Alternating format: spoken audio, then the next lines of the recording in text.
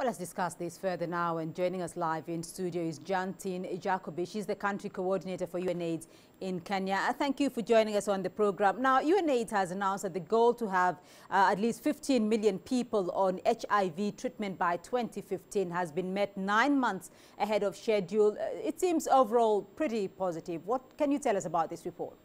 Indeed, we are extremely pleased and happy with the achievement of 15 million people on treatment prior to its uh, deadline by the end of 2015. This is an unprecedented success. And it not only means that these 50 million people uh, stay on treatment, are alive, but it means also that we have seen less new infections and less untimely death. And more importantly, this has, has meant that these people who are on treatment are able to have productive lives and to live the life of anyone else. Well, uh, the report, though, does paint an overall positive picture, but there are still some countries like Uganda, for instance, which have suffered some uh, setback. How does UNAIDS, though, view such scenarios? Well, it demonstrates that we need to really monitor what is going on. It is a, a progress that can easily be um, lost if we don't keep an eye on what the epidemic is doing.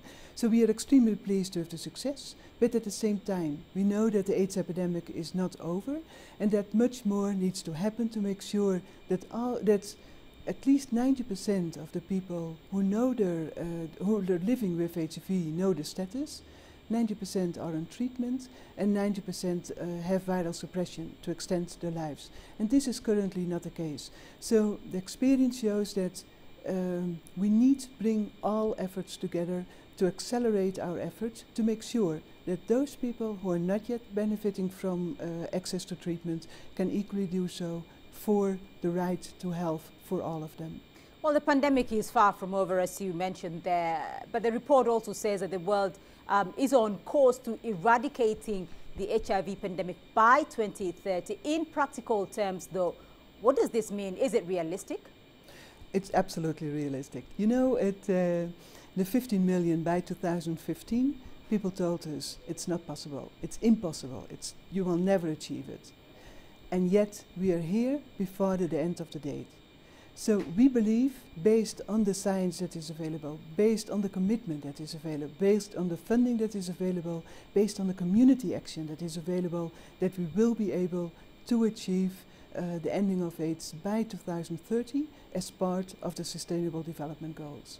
Well, for African countries, though, there are those uh, that are doing rather well on that front, but there are some that have suffered setbacks, though, like Uganda we mentioned earlier. What do African countries, though, need to do to make the eradication of the pandemic a reality by that target date?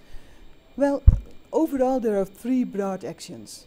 In Africa, like elsewhere in the world, they need to bring down the new infections. So that means a combination of all the possible prevention interventions to bring down the new infections. The second point is to make sure that as many people as possible uh, access treatment. I mentioned already the 1990 targets. And so what we envisage is that 90% of those living with HIV know the status. It's the right to know the status.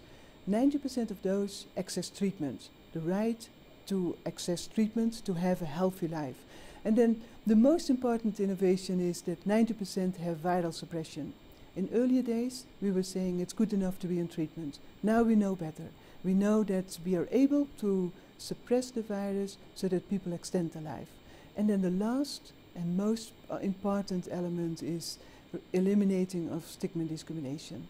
And this is an issue that we see all around the world that still, despite the many years of the epidemic, we see stigma and discrimination hindering people, serving as a deadly barrier to access to treatment. And if I see figures where people, uh, where, where coverage is low, where uh, people die of AIDS-related causes while the treatment is on the shelves.